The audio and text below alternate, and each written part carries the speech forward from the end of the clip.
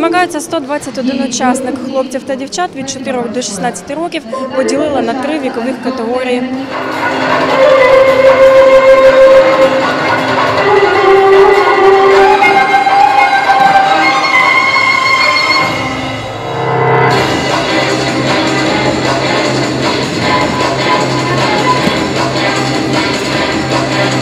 14-річна Дарія займається безконтактним кікбоксингом 10 років.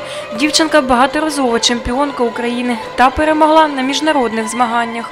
Обрала саме цей вид спорту, тому що е, мені подобалось, що тут об'єднані декілька видів спорту, а саме акробатика, е, також е, кікбоксинг, бокс, гімнастика.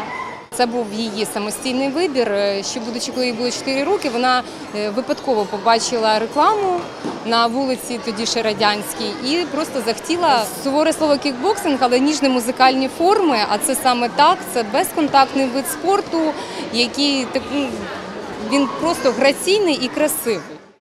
Оцінювала учасників суддівська колегія з п'яти тренерів. Оценивается сложность э, по акробатике, сложность, зрелищность. То Оцінюється складність з акробатики, складність, видовищність, тобто як гімнасти. Там окремі елементи. У нас також присутня акробатика, удари, складність, якщо це композиція зі зброєю, складність маніпуляцій різних.